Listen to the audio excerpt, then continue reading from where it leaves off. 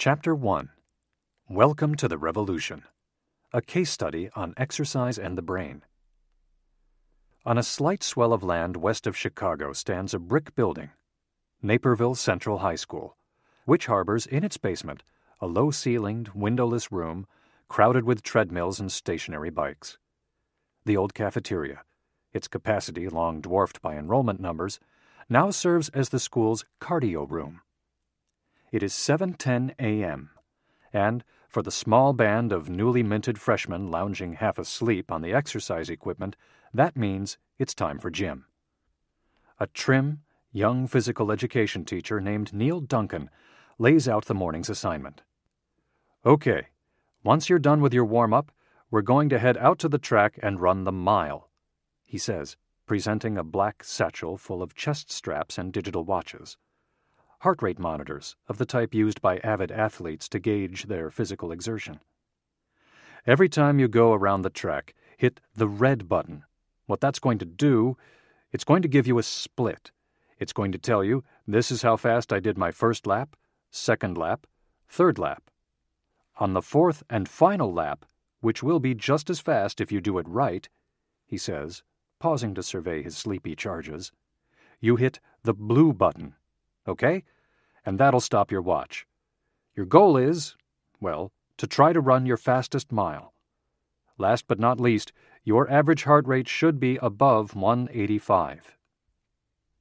Filing past Mr. Duncan, the freshmen lumber upstairs, push through a set of heavy metal doors, and, in scattered groups, they hit the track under the mottled skies of a crisp October morning. Perfect conditions for a revolution. This is not good old gym class. This is Zero Hour PE, the latest in a long line of educational experiments conducted by a group of maverick physical education teachers who have turned the 19,000 students in Naperville District 203 into the fittest in the nation, and also some of the smartest. The name of the class refers to its scheduled time before first period. The objective of Zero Hour is to determine whether working out before school gives these kids a boost in reading ability and in the rest of their subjects.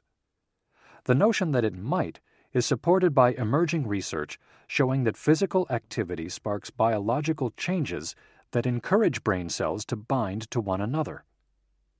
For the brain to learn, these connections must be made. They reflect the brain's fundamental ability to adapt to challenges. The more neuroscientists discover about this process, the clearer it becomes that exercise provides an unparalleled stimulus, creating an environment in which the brain is ready, willing, and able to learn. Aerobic activity has a dramatic effect on adaptation, regulating systems that might be out of balance and optimizing those that are not. It's an indispensable tool for anyone who wants to reach his or her full potential.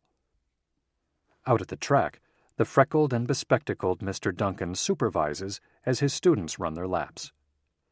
My watch isn't reading, says one of the boys as he jogs past. Red button, shouts Duncan. Hit the red button. At the end, hit the blue button. Two girls named Michelle and Chrissy pass by, shuffling along side by side. A kid with unlaced skateboarding shoes finishes his laps and turns in his watch. His time reads 8 minutes 30 seconds. Next comes a husky boy in baggy shorts. Bring it on in, Doug, Duncan says. What'd you get? Nine minutes. Flat? Yeah. Nice work. When Michelle and Chrissy finally saunter over, Duncan asks for their times, but Michelle's watch is still running. Apparently, she didn't hit the blue button. Chrissy did, though, and their times are the same. She holds up her wrist for Duncan. Ten twelve, he says, noting the time on his clipboard. What he doesn't say is, it looked like you two were really loafing around out there. The fact is, they weren't.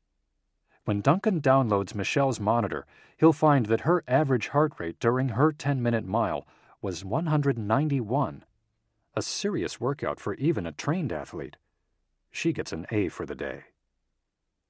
The kids in Zero Hour, hardy volunteers from a group of freshmen required to take a literacy class to bring their reading comprehension up to par, work out at a higher intensity than Central's other PE students.